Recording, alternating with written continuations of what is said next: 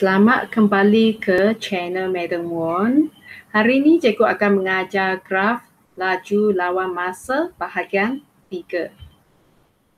Jadi bagaimanakah anda menyelesaikan masalah yang melibatkan graf laju lawan masa? Kita tengok soalan berikutnya. Raja menunjukkan graf laju lawan masa bagi pergerakan suatu zarah dalam tempoh T saat. Eh, cari kadar perubahan laju dalam meter per saat kuasa 2 dalam 4 saat yang pertama.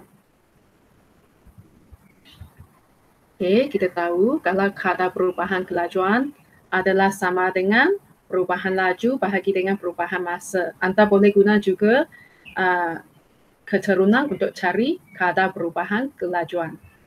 Jadi di sini kelajuan akhir untuk 4 saat pertama adalah 12 tolak dengan kelajuan awal dia empat bahagi dengan empat tolak kosong perubahan masa dia. Jadi kita dapat dua meter per saat kuasa dua. Sekarang kita tengok B. Cari jarak dalam meter yang dilalui dengan laju seragam. Jadi laju seragam ialah pada saat keempat hingga saat ke sembilan sebab graf dia rata. Jadi untuk laju uh, untuk graf laju lawan masa jarak adalah luas di bawah graf.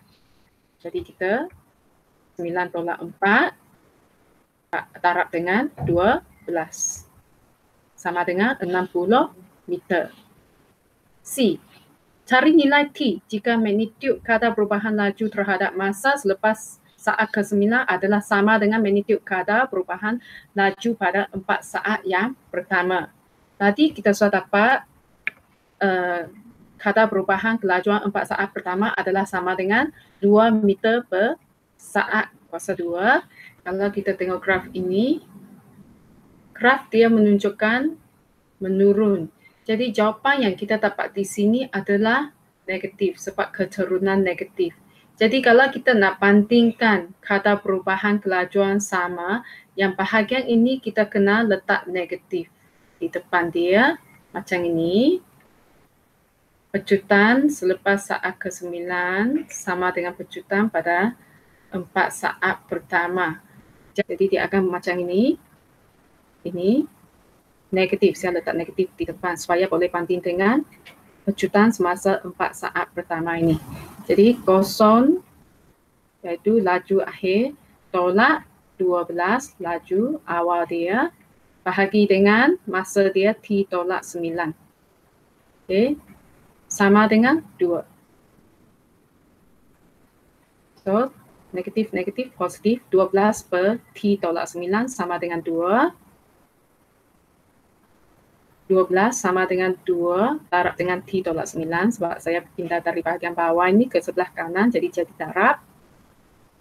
12 per 2 sama dengan T tolak 9. 2 ini saya pindah ke sebelah kiri.